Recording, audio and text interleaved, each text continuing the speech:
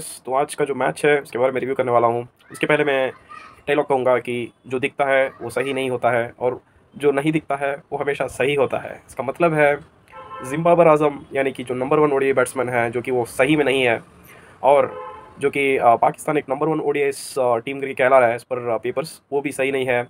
और पाकिस्तान जिसकी bowling attack जो कि बेस्ट करके बोला जा रहा है one of the best bowling attacks करके बोला जा रहा है, वो भी असल में सही नहीं है।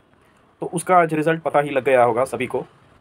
पर्टिकुलरली पाकिस्तान, यानी कैशलस्थान फैंस को भी पता हो गया होगा कि उनके प्लेयर्स का कैपेसिटी और capability to perform under pressure कितना है करके बिफोर द वर्ल्ड कप और अक्सर मैं ये देखता हूँ कि पाकिस्तान फैंस कमेंट सेक्शन में, जैसे कि मेरे वीडियोस में हो या किसी और के वीडियोस में, अक्सर कहते हैं कि उनके बॉलर्स जो होते हैं, वो बहुत तगड़े होते हैं बिकॉज़ वो गोश्त खाते हैं, ऐसा ऐसा ऐसा वैसा करके मैं बहुत सारे पाकिस्तानी फैंस को ऐसा कहते सुनता हूँ। तो मैं उनसे यही कहता हूँ, गोश्त खाने से सिर्फ़ पाद आता है गाइस तगड़े नहीं होते हो आप।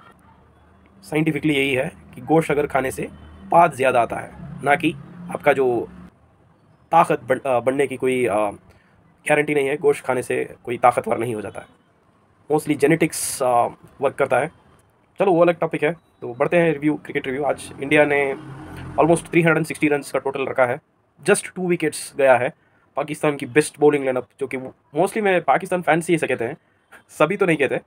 उनका जो पाकि best so called best bowling attack के अगेंस्ट 356 आज टोटल हमने कर दिया है उनके अगेंस्ट और सिर्फ़ दो ही दो विकेट ले सके।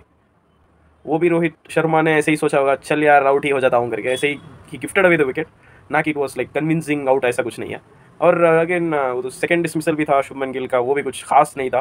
वो स्लो बॉल डाल रहा था।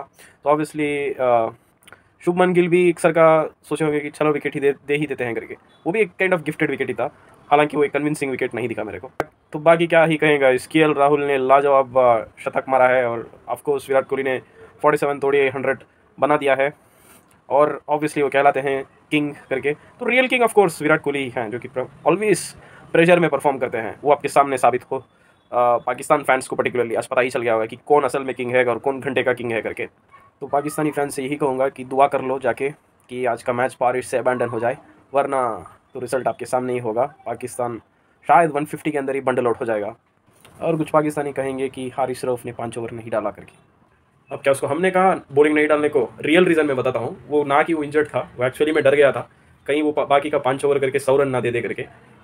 तो अब तुम्हारे पीसी को कहता हूँ कि आप लोग एक, आप लोग जो है रियल डरपो को रही बात जिम्बाबर आज़म की, जो कि अबाउट हुआ है दस रन में।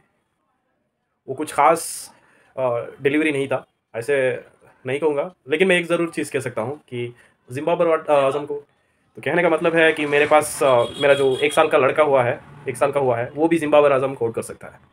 तो कहने का मतलब है कि जिम्बाबर आज़म एक घंटे का किंग है। वो आज आप सभी को साबित हो चुका होगा पर्टिकुलरली जो कि वो पाकिस्तान के क्रिकेट फैंस जो कहते हैं कि real king is Zimbabar Azam करके। तो रही बात पाक बॉलर्स की तो लिटरली मैं ये कहता हूँ कि जस्ट आप लोग ओवर हाइट ओवर हाइट हो जाते हो सिर्फ़ एक मैच के परफॉर्मेंस देकर।